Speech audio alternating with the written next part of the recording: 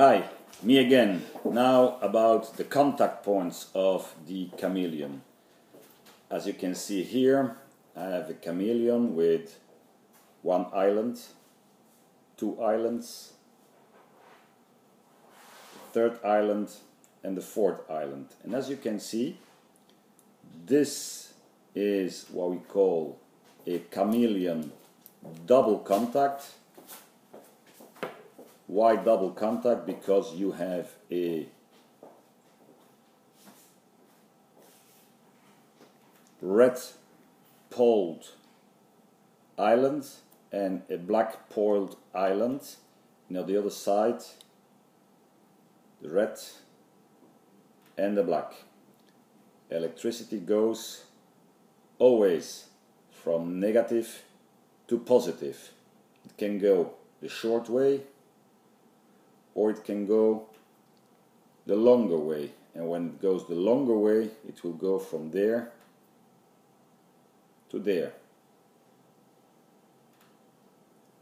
What you must know, the more contact points you use, the less stimulation will be felt. The less contact points you use, for example one there and one there, the more the dog will feel the same stimulation or you just work with one side from there to there the more the dog will feel okay? That's good to know. It's very important to know. Then you can unscrew every contact point. I will unscrew it very fast. Took it away. What you see now little hole there. I can unscrew this and change the contact point from there to there or to there the same for there, the same for there, and the same for there.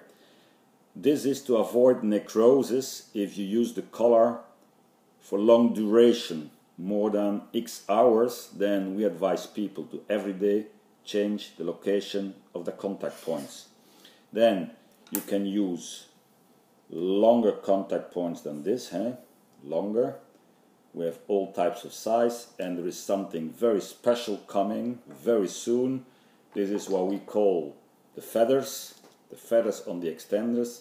These are contact points that feather and this is the best of the best. It automatically grips around the neck of the dog and due to the feathering will push a little bit, just enough to always make contact. This is soon for sale in our store. And there again, due to the special design, as you can see here, the fur of the dog can go through it so that it makes always contact with long fur dogs. Thank you for your attention. Bye bye.